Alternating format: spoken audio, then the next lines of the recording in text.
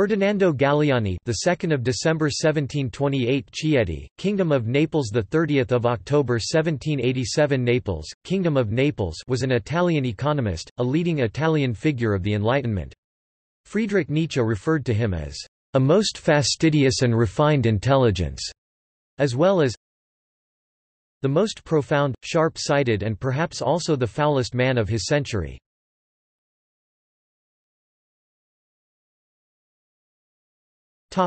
Biography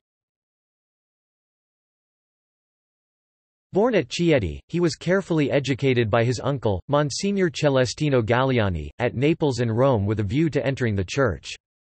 Galiani showed early promise as an economist, and even more as a wit.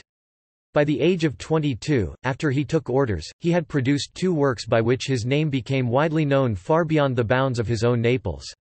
The one, his Della Moneta, a disquisition on coinage in which he shows himself a strong supporter of mercantilism, deals with many aspects of the question of exchange, but always with a special reference to the state of confusion then presented by the whole monetary system of the Neapolitan government.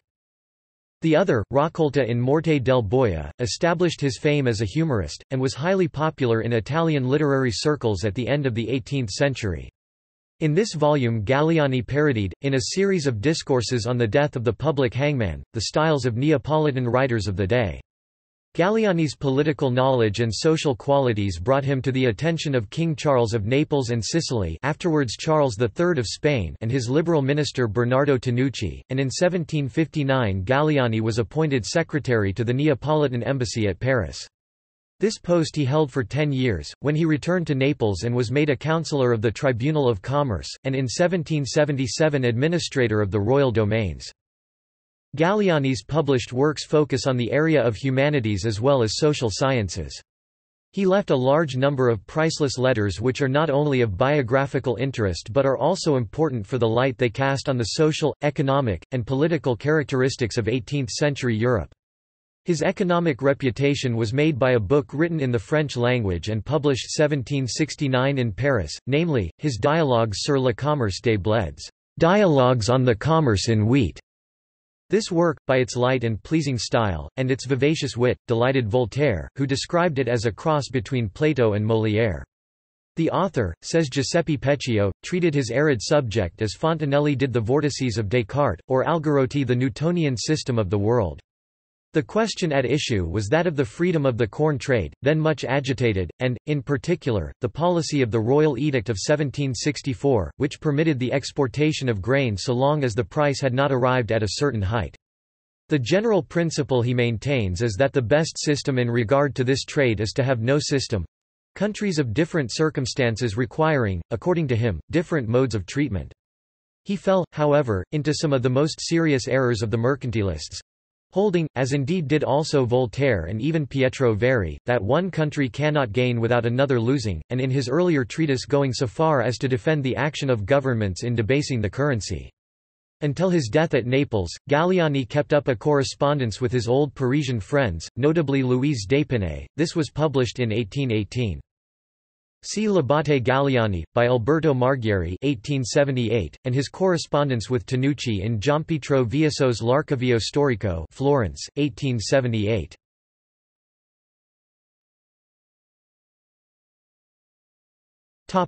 Published works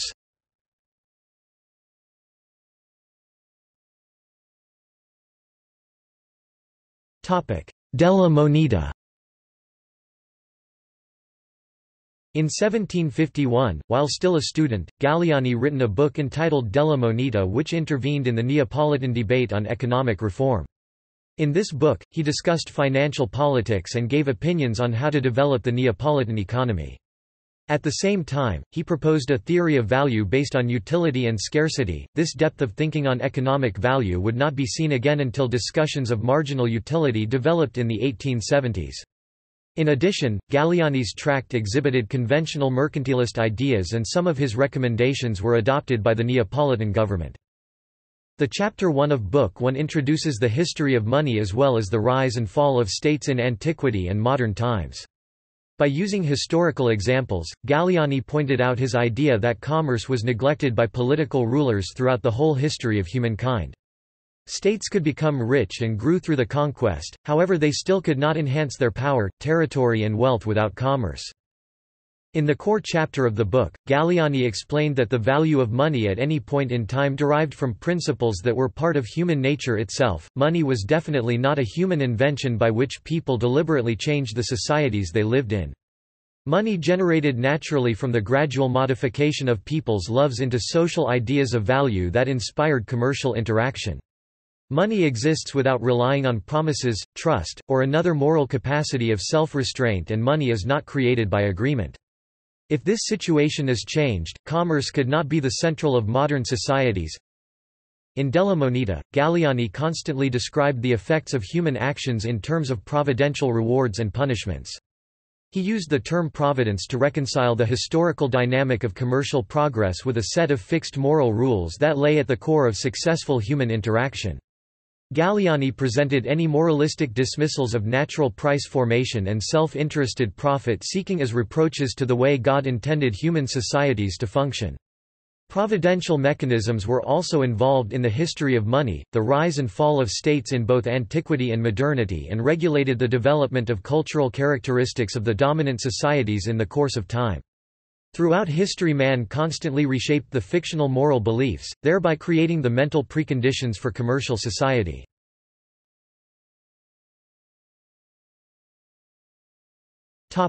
Dialogues sur le commerce des bleds During the period of being a diplomat in Paris, Galiani wrote Dialogues sur le commerce des bleds, which emphasized the importance for the regulation of commerce, an argument that opposed the physiocrats, who advocated complete freedom. This book was published in 1770 and Galiani indicated in this book that there are increasing returns to manufacturing, and diminishing returns to agriculture, and the wealth of a nation depends on manufacturing and trade. Although approving of the Edict of 1764 liberalizing the grain trade, Galiani rejected much of the physiocratic analysis, notably its land theory of value. His 1770 piece also provided a quite modern analysis of balance of payments.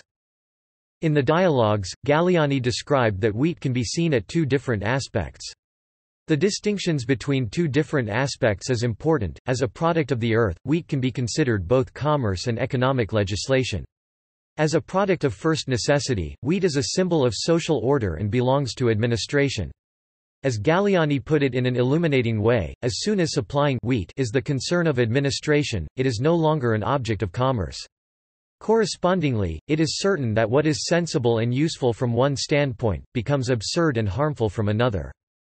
Galiani believed that there are many shocks to economy, which can cause disequilibrium and it takes long tome for the restoration of equilibrium. He thanked that something instead of the nature law needed to face the challenge and shocks. Administration dealt with the sudden movements of the economy, such as shortages in the wheat supply. In other words, the legislator could not but consider the down-to-earth constraints of subsistence. In this respect, the physiocratic enlightened despot consistently and independently ruling economic matters according to natural laws was not enough to maintain social order.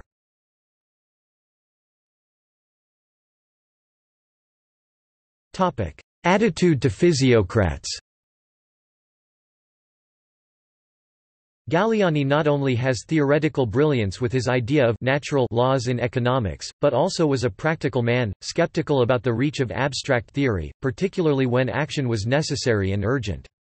He was repelled by the wide-eyed policies called for by the physiocrats, which he believed were, unrealistic, impractical and, in times of crisis, downright dangerous. Galiani disagreed the physiocratic argument which is said that in order to provide a sufficient supply of grain, it suffices to establish a completely free trade. In fact, the foreign trade agreed with the physiocrats that internal free trade can benefit the economy.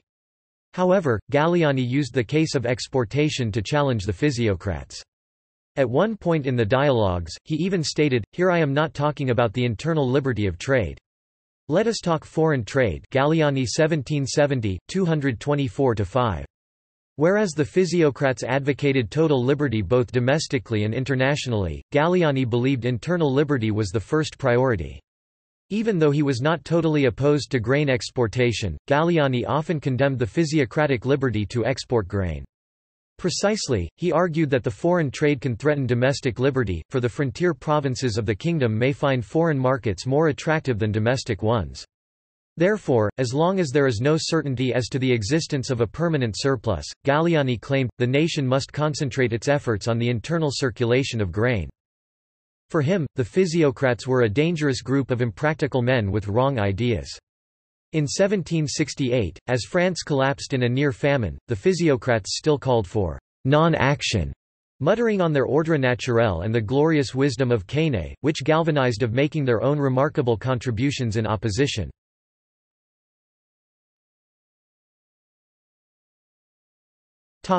Works Della Moneta, 1750 Dialogues sur le commerce des bleds, 1770 Doveri dei principi neutrali, 1782